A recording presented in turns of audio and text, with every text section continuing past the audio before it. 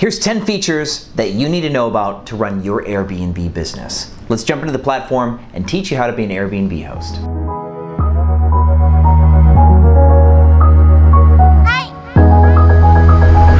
Back Airbnb family, my name is Sean. You know me. If you don't know me yet, um, I have about 56 properties on the platform and growing. We're adding 35 more over the next six weeks. It's gonna be a big project. We're also launching our course in a few weeks.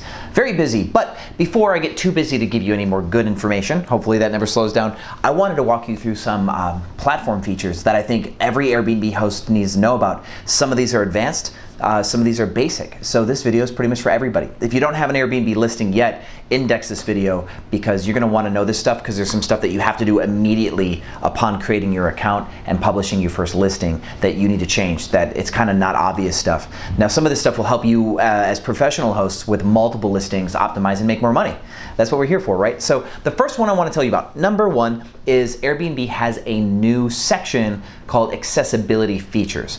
I actually spoke to Airbnb and the representative for this campaign. Um, they wanted me to do a video on this and we're gonna do a separate video dedicated to accessibility. And essentially what it is, is Airbnb is trying to increase the amount of inventory available for people who are disabled. And she also wanted me to tell you, do not ever use the word handicapped in your listing right? So it's not handicap accessible, it's disabled accessible. That's a big thing for Airbnb. They want me to let you know. So there's three levels of accessibility for a home. The first one being that the doorway is a certain width wide and that there's no step entry to your home, stuff like that. No step entry to the bedroom and bathroom. And they're going to make you take photos and add photo proof that you're listing meets these accessibility requirements for you to kind of level up. What's good about this though is in some cities there is a 400% increase of demand as opposed to current supply. So if you can meet some of these accessibility bars, even that first level of accessibility, the amount of demand for that category will go up drastically and you'll get a lot more bookings for that. So that's one that just jump on immediately. If you have a ranch style home and you can have no step access into the home, I think you're gonna win right away. This is the obligatory please like and please subscribe by the end of the video. You don't have to like and subscribe right now, but I assure you by the end of these 10 features, you're probably going to forget to subscribe. So if you want to see more content like this, hit the button now, um, and there's a notification bell. I'll send you a push notification when we do more content. So um, yeah, thanks, let's jump in. Number two is going to be something that you need to adjust after you create your listing. When you're on your phone and you're going to create your listing, it's gonna say when, it's gonna ask you when can somebody book. You're gonna put it as same day as late as 10 p.m on your phone. It's the latest somebody can like list or book. So that means from 10 p.m. to midnight, your listing actually blocks off. If you do it on a desktop, I think it allows you to do it until 11. It's only after you publish your listing and then go back in to your availability settings can you switch it to on the desktop only, same day to midnight that day. So you have to get on a desktop and do this and it will allow you to basically make it that somebody at 11:59 p.m. can book your property. Number three is another feature that you need to change after you've set up your property. This is called your internal name. In order to have an internal name, just like having a multi-calendar or having the custom like nightly rate discounts, being able to discount like two day stays or three day stays, you need to have at least six listings. Once you have that certain number of listings, you get extra features unlocked, and one of the ones that most people don't know about is the internal name, and helps you organize all your listings. Because if you have a team member or co-host that's managing your account, and you have 20 listings and people are sending messages, you want that person, when reading the messages, to be able to go, oh, this is apartment 2020 or something like that at this one, what this one building. So you, in your internal name, you can put the apartment number and the building name, and maybe even a city code if you have multiple cities and you create this naming system so your assistants can be reading somebody's message and not actually have to look for the listing. They can just kind of go into your internal name that's showing in the message thread and answer all those questions with the context. It's a big help. Number four is another thing that you need to do after you publish your listing. So this one's kind of cool because we're using the pricing settings in a way that you don't commonly use them. So if you go to your listing and you go to pricings and the extra charges, you're gonna see that you can add a cleaning fee. We all know that I don't think that you should put too high of a cleaning fee. There's bad um, consequences to having an inflated cleaning fee. We talk about that in another video. Then you can also add like security deposit or not, and I don't recommend having a security deposit because it only scares off people from booking and it doesn't actually give you a collection advantage. But there's going to be um, a price for extra guests and weekends and stuff like that. So you have your weekend price and then your per guest price. Now, I don't have this strategy where you have two guests and then it's like $30 per person after two. That's not why we use this. If my home can have four guests or have 10 guests, I price my listing, my base rate, as if I'm expecting that full group to book, right? So if my listing can host 10 people, I'll put it at 350 or $400 a night. I won't put it at $100 a night for two people and then $40 per person after. I don't do that scaling thing. But what we will do is set it that if your listing can occupy 10 people, set your rate, your base rate at like 400 or whatever. Then take it and put for every person after 10, it's going to be 35 or 40 dollars a person. What this allows you to do, if somebody throws a party where they're not supposed to be in your home and there's like 30 or 40 people, you can then go in um, to, to pretty much Airbnb support and say this person had extra people and they owe me $35 per person that showed up at the party. So you'll also need like a camera and you'll need proof that, the, that they threw a party with that many people and there's multiple ways to do this. But if you can prove that they violated your occupancy, that adding that into your prices gives you extra room to tell Airbnb to charge those guests.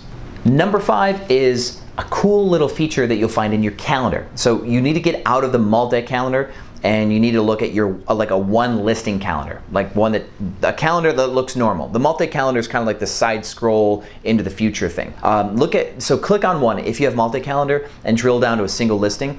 On the right side of the listing, it's going to say more ways to earn money. I believe is what it says at the top and it's going to give you tips and it's going to tell you turn smart, smart pricing on and lower your price in accordance to like the prices that they want you to. Don't, okay? That skip that, but keep clicking the little arrows that toggle the different things and sometimes you will find coupons where it will say make make $185 for these 2 days by giving a 20% off coupon for Thursday and Friday, the 17th and 18th or something like that.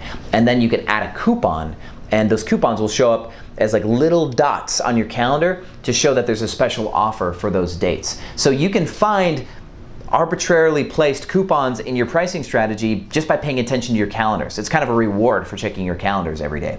By the way, if you check your calendar every day, by loading your calendar every day, you do get a little SEO boost, by the way.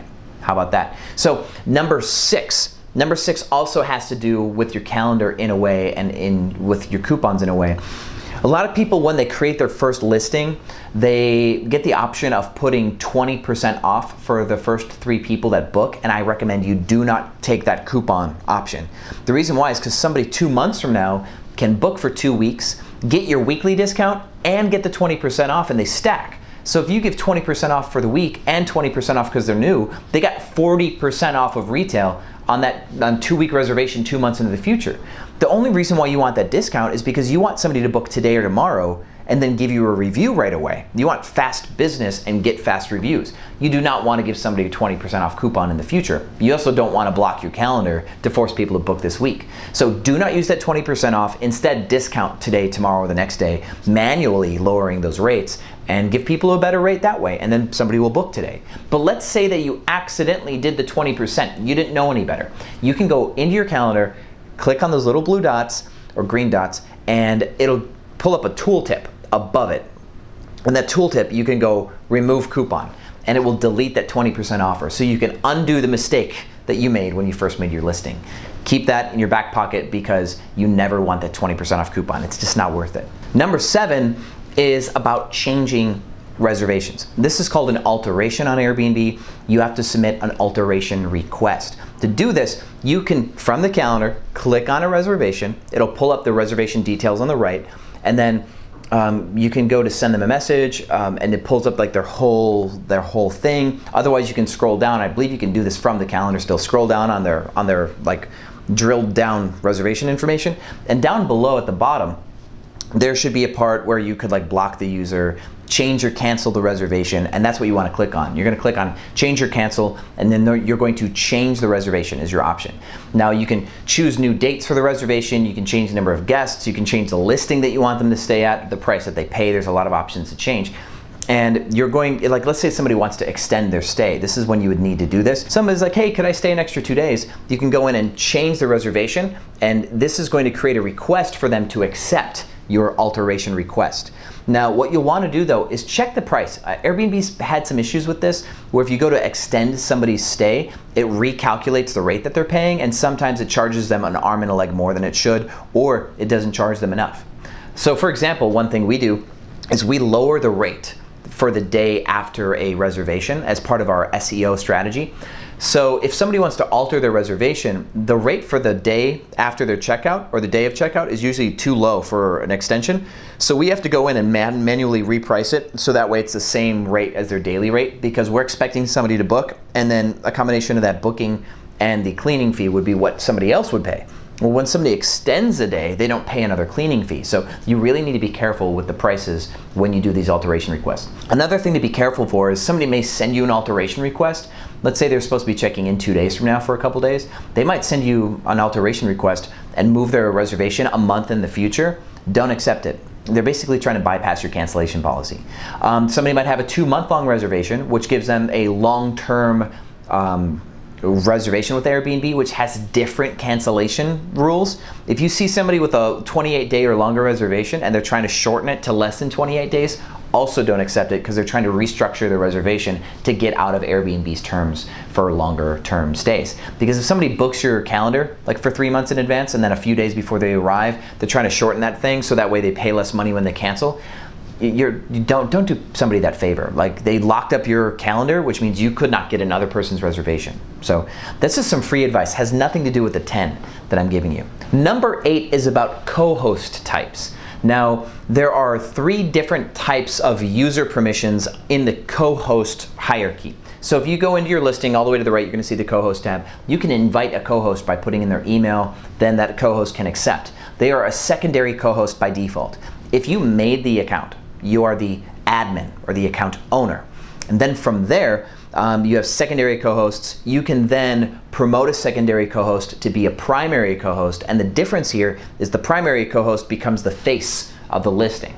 So that way, if you want to automate your business, the admin controls the money, and then the primary co-host becomes the customer facing account that gets all the phone calls and does all the communications and they never really even know that the admin account exists and that's why promoting somebody up to primary is a good move you can keep a secondary co-host on there if you want a little extra firepower you want your cleaners to have access to the calendar stuff like that now airbnb is moving away from the co-host association. I talked about this in a past video. Airbnb lost millions of dollars by accidentally paying co-hosts money that the admins should have got paid and they had to try to fix it and they ended up losing money in the process. And so they're moving on to something called Teams. And we're gonna do a dedicated video to Teams. Right now, Teams is an incomplete solution. It allows you though to choose what permissions people have. So you can have a, a team member who can just talk to guests or just change the calendar or do prices or just see the financials. So what they're working on is really cool, but the problem is, is one co-host can get linked to one team that co-host can't be linked to multiple teams and that's so far like an operational flow problem especially for our business so be aware um, that there is a change coming. If you utilize co-host right now, be prepared to make the switch because uh, the co-host functionalities have been breaking. You might even have seen it. Like right now, we have a problem with our co-host not being able to access listing information. It's like on and off. So number nine has to do with the message system. Let's say you're doing a like a resolution and somebody owes you money, like they checked out late and they have a $50 fee or they break something.